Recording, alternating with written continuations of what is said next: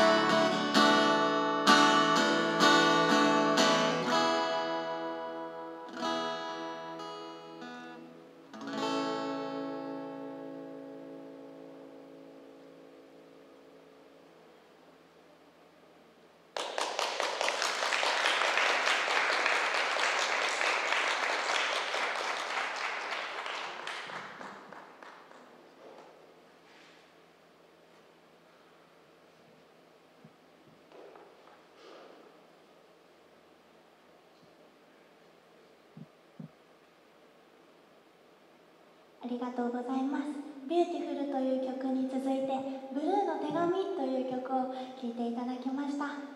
あのここ東別院さんはあのいろんなねあの1年を通していろんな方があのいろんな思いを持ってここへ訪れてでいろんなね本当にいろんな命とかいろんなことを思って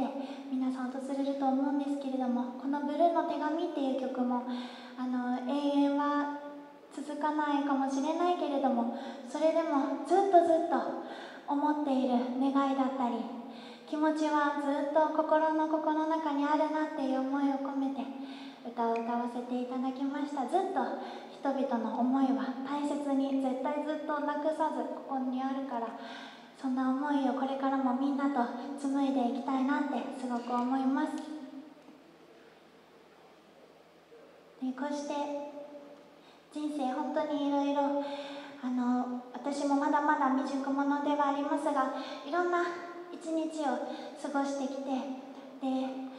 あの人間関係ですごいあの悩んだりとかいろんなこともあのたくさん学生時代とかもたくさん経験をしてきてででもねあの人と人とが違うところを責めるんじゃなくってそれで傷つけるんじゃなくって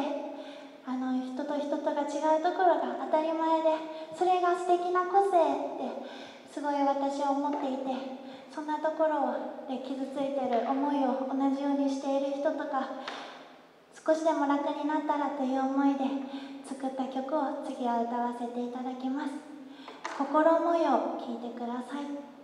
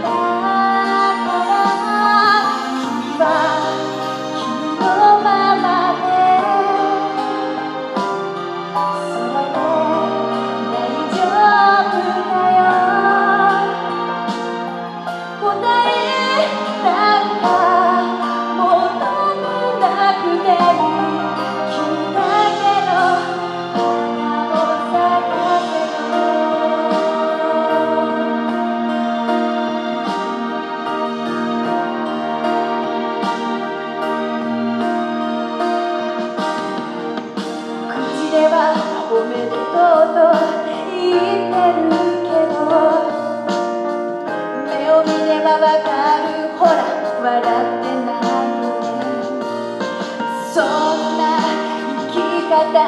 たの